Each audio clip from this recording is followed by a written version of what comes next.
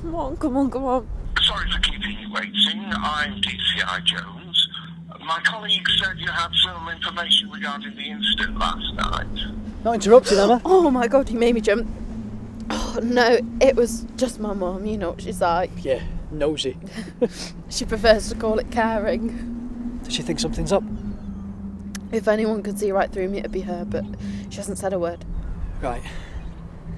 Look, I'm sorry you had to witness that last night. You know it's not the real me, don't you? You've already apologised to me. Don't worry, you couldn't scare me off. Just those boys have been pushing into our territory for weeks. When I spotted them both dealing in plain sight, I just saw red, you know. You had to defend your business, I get that. I really do. How's the car? Hitting the pair of them made a right mess. Had to dump it.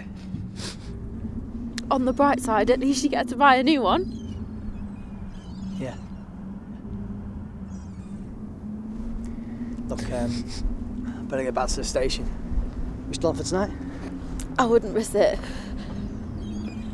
Should I pick you up? I've got more than one ride. Take care of yourself.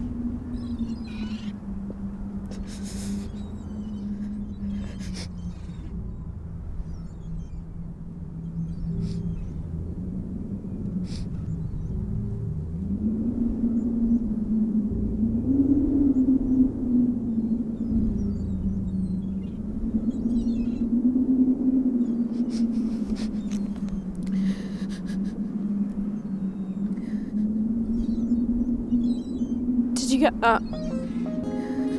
Every word. so afraid. I never been so afraid.